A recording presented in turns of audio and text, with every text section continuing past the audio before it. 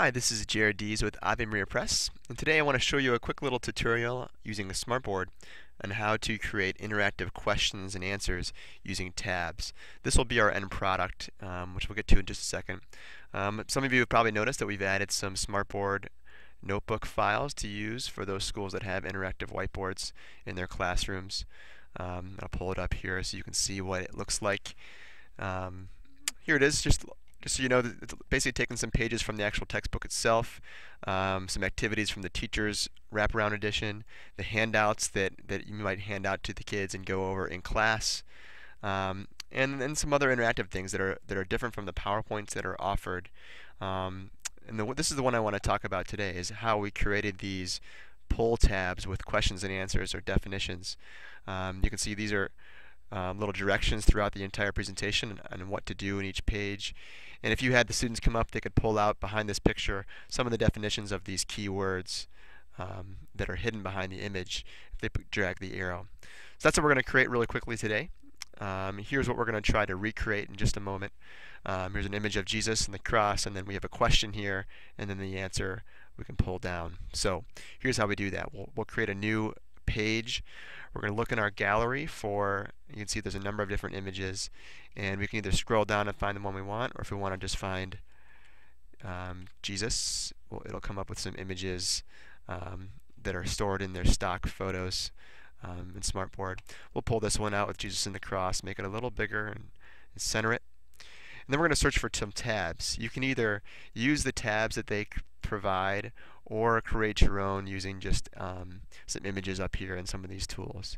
But we're going to create um, our own. So first, first of all, we're going to just highlight the one, drag it down, move them around a little bit. And this is eventually what we're going to have. We're going to have a tab with a question and then the answer hidden behind um, the ground and Jesus' feet. So what happens here, this is actually two different images. There's an image of the word pull and an image of the tab. And they're actually, if you click on the little arrow, you'll see that they're actually grouped together. So we want to ungroup them. And by ungrouping them, we can pull out the actual word pull and move these as two separate images. We're actually going to delete pull and add in our own text with the question, who was Jesus? And I'm going to center it under the tab. And just so I don't forget to do this later, I'm going to highlight them both by dragging a box around them. Click on the little arrow in the upper right hand corner and highlight group and group them together. And by grouping them together, they're locked as one thing. Um, when I move them around, they're moved as one unit.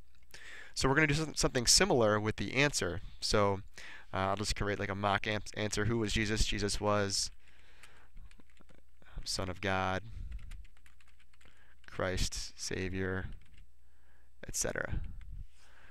So you can see, just like before, these are two separate images or, or units that we can move around, and we're going to lock them together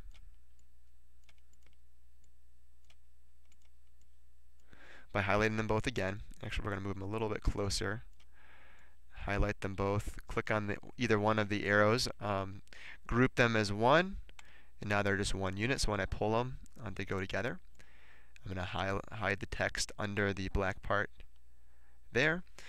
So it's hidden, and, and, now when you have the students, either you can pull it up yourself if you're in the front of the room lecturing, or you can have some of the students come up and quiz each other and, and come up to the board um, drag and pull it down for the answer. Um, just adds a little bit of interactivity to um, using a smartboard. These are some things that you can't really do with a, a PowerPoint uh, or Microsoft PowerPoint or Keynote. So it really adds a little interactivity that I think smartboards are really designed to do. So um, I hope this was helpful and good luck.